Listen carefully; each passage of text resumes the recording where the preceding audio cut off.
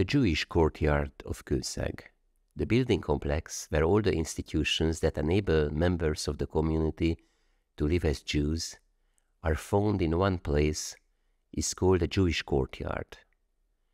When entering through the gate, you will find yourself between two single-story buildings, both of which contain two rooms.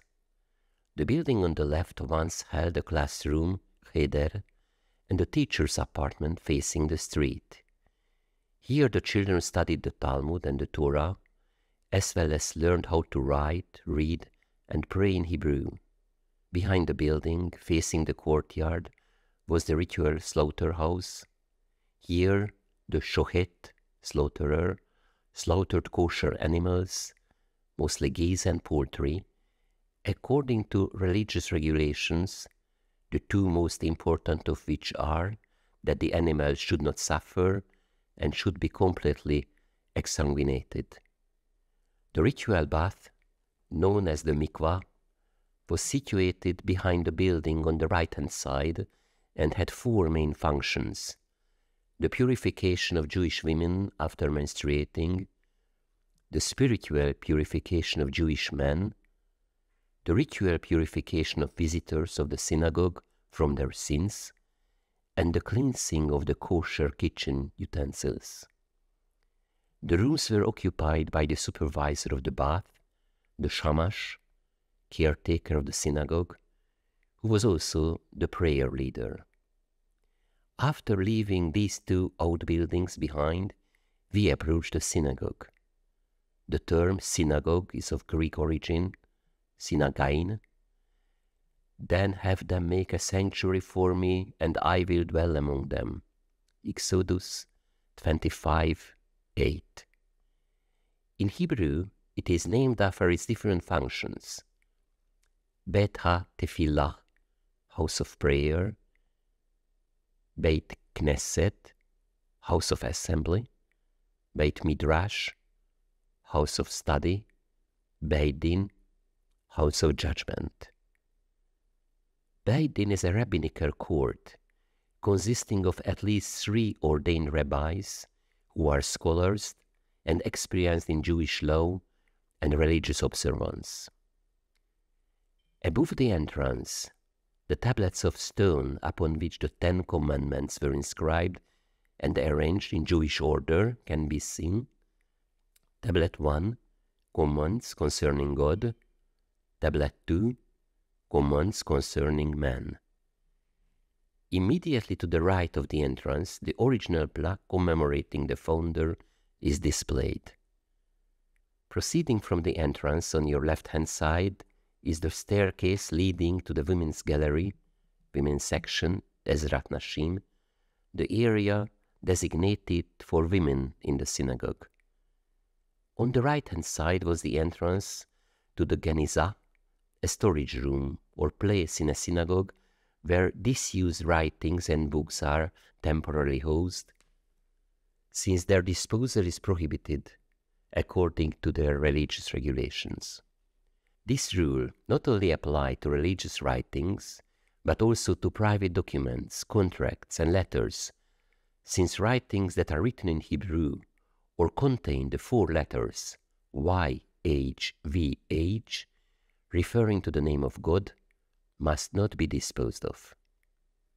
In the functioning synagogues, a small handwritten piece of parchment with a passage from the scriptures, known as mezuzah, Deuteronomy 6, 4 to 9, 11, 13, and 21 in a wooden, metal, or plastic case is attached to the doorpost. It is considered inappropriate to enter a synagogue without wearing any kind of headwear. Besides the hat, the most common form of headwear is a kippah or kappel. A sink for ritual hand washing is placed near the entrance to the foyer or hall, where one or more collecting boxes, referred to as tzedakah, boxes are also found. The Aron Kodesh is usually placed on the wall facing Israel or on the one facing Jerusalem if the synagogue is located in Israel. It is a chamber or niche, usually concealed by a curtain, parochet, where the synagogue's Torah scrolls are kept. On the pulpit, bima, in front of the Torah ark stood the Torah reading table, shulchan. High up in front of the ark burns the eternal light, ner tamid, a reminder of the light that burned continuously in the ancient temple of Jerusalem, and the divine presence, Shehinah, it is represented by. The two candelabra illuminating the ark with its candles and the Torah cabinet are original. The synagogue and the local community. The synagogue of Kőszeg was built between 1858 and 1859 in Romantic style. It was taken over by the local community on 24th December 1859 at the end of the Jewish calendar year of 5620 at the time of Hanukkah and during the same year in which the Dohány Street Synagogue in Budapest was completed. The inauguration ceremony took place the following year. The financial resources necessary for its construction were provided by the town's richest citizen, that is merchant Philip Schey.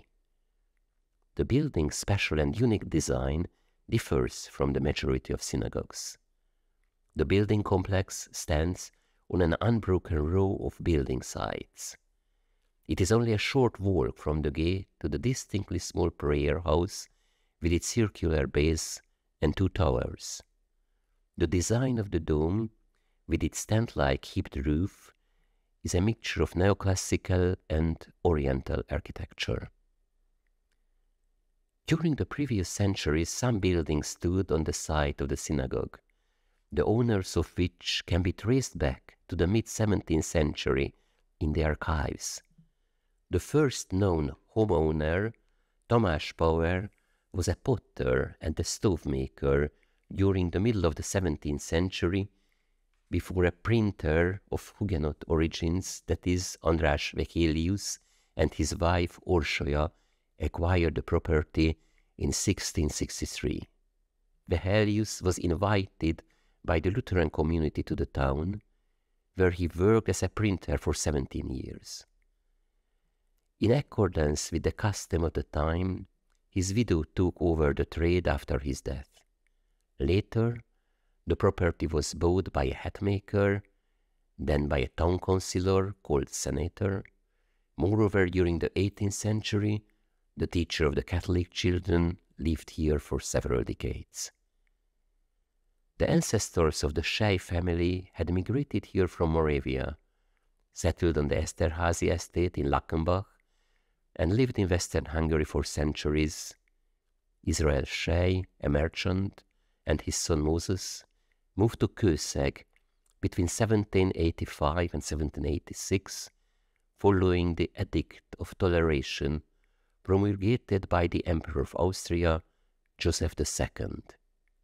Together, father and son purchased the property a few years later, on 20th of April 1792.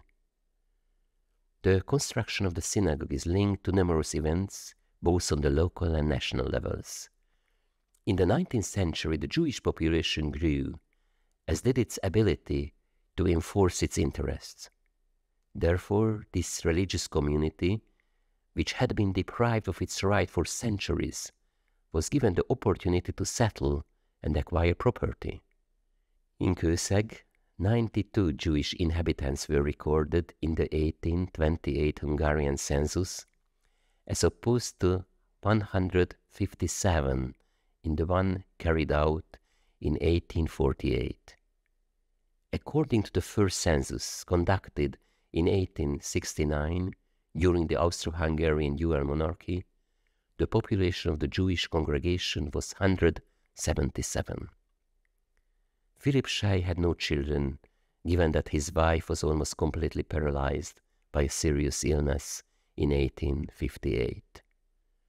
Perhaps this personal circumstance influenced his decision to make a donation to the community. In his written request on 15th January 1858, he announced the intention of the local Jewish community to build a synagogue and a school. The town council contributed to its construction by donating 40,000 bricks. In spite of research conducted in Kőszeg, Budapest and Vienna, the architect has yet not been identified. However, without a doubt, the artist commissioned to paint the interior was Chaim Berleb Rosenfeld, who also worked on the synagogue in Rechnitz, Austria. An extraordinary fact about the synagogue in Kőszeg is that Schey spent 20,000 forints on its construction and furnishings. In 1860, the interior, known as the chapel, could seat 100 men and 100 women. Since Philip Schey was Orthodox, initially the synagogue was arranged according to Orthodox customs. However, later on it functioned as a Neologian prayer house. In his will, Schey bequeathed the building to the Jewish community of Kőszeg. In 1944, during the Holocaust, the Jews in Kőszeg were deported and the synagogue fell into disuse. After World War II, it was regarded as derelict and the place of residence of its owner was registered as unknown. In 1952, the synagogue was nationalized, while in 1962, the town council intended to convert it into a library, but this never happened. Although several plans were proposed to make use of these derelict buildings, finally the Institute of Advanced Studies Kőszeg initiated its renovation that was funded by the Hungarian state in 2021.